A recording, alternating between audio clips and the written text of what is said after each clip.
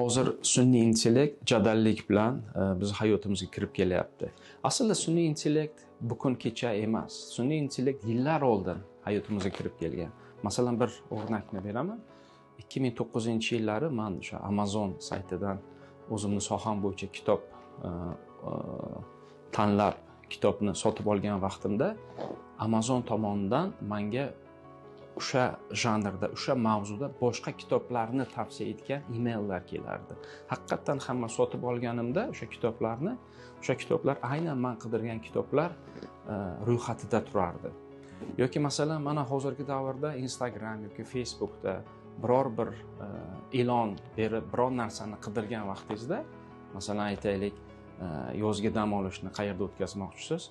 Shunga aloqador mavzularda sizga e, instagram yoki facebook orqali xabarlar keladi. Ya'ni buni qaysi bir inson boshqarmaydi yoki qaysi bir dasturchi boshqarmaydi?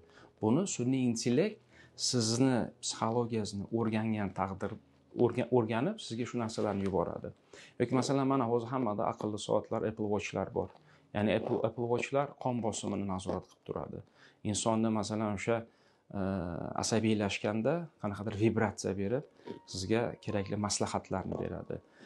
Bu demak agar biz sun'iy intellektni aqlona boshqara olsak va buni ta'lim tizimiga keltira olsak tasavvur qiling boshlang'ich ta'limda buni sun'iy intellektni masalan o'sha bolalarni yaxshi ko'radigan masalan o'sha hobbilari qaysi kitoblarni o'qishni istashadi qaysi ranglar qaysi ovqatlar buni sun'iy intellekt orqali ham amalga oshirish mumkin.